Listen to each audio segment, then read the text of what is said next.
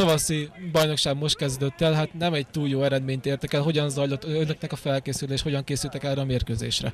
Hát a felkészülésünk sajnos az nagyon gyengén sikerült, ugyanis 6-7 játékosunk átigazolt, és akkor az ifiből próbáltunk, meg a környékbeli falu. Hát nem egy ütőképes csapatot. Hát a célunk bemaradás ez.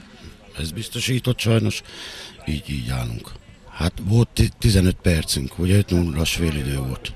Hát a második félidőben 10, azért helytáltunk. Ha az első félidőben is ezt csináljuk, akkor nincs 7 gól. Úgy láttam, hogy a kiállítás megzavarta az önök csapatát. Ilyenkor rendet lehet rakni a fejekben? Hát a félidőben ez sikerült, ugye, mert csak kettő egyre kaptunk ki. Az, a, az öt volt csak az első félidőben.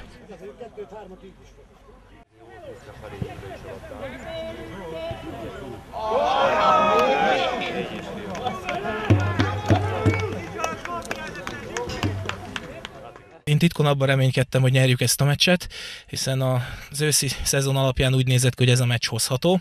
Az ellenfél csapatából a tavaszra elmentek hét játékos, mint a mellékeltában mutatja, nagyon nem sikerült pótolni. Mi egy picit én úgy érzem erősödtünk, négy új játékossal.